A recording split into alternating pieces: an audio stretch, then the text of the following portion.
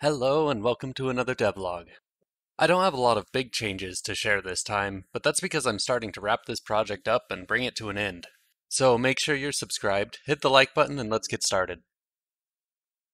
While I was trying to test the game, it got really annoying not knowing how many fish I had, so now you can see how many fish you're carrying and how many you can carry total.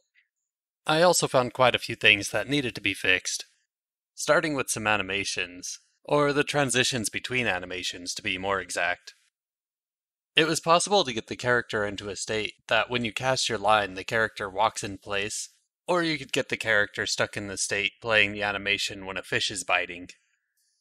I also had a problem with units because when I first set up the depth system, I decided to use meters, but then started using feet for everything else afterwards. In the end, I switched everything over to feet because that was the easier fix. I only realized this was an issue because I was starting to add in some of the different types of fish, and when I was looking up the depth that you would find these fish at in real life, I found that sometimes it's given in feet and other times it's given in meters. I was entering the depths as feet until I got to some of the deep sea fish and realized that the numbers for the depths were greater than the maximum depth of the ocean.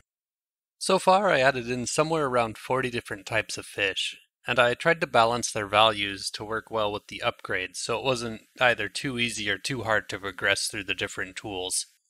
The fish that I've added in vary in weight from well under a pound to several hundred pounds, so I had to revisit my scaling mechanic for the silhouettes.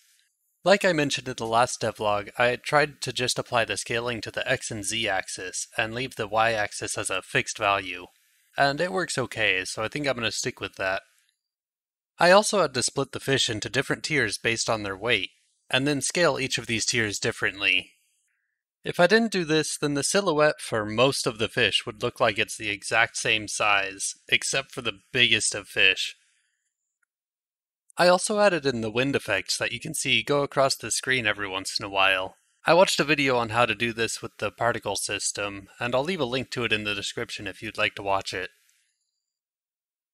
There's a few minor changes I made to the appearance, like adjusting the lighting a little bit, and I also made these new buttons to show the controls for gamepads. The last problem I had was with the WebGL build. I would get this error at what seemed like random times. I looked online and I found out that you can fix it by changing this one line in the project settings file. By the time you're watching this, the game should be uploaded on itch.io, and I'll leave a link in the description if you want to play it. I'll do my best to fix any issues that make it unplayable, but I don't plan to add anything new. That's all I have for you this time, so if you haven't already, be sure to subscribe and hit that like button. Thanks for watching, and I'll see you next time.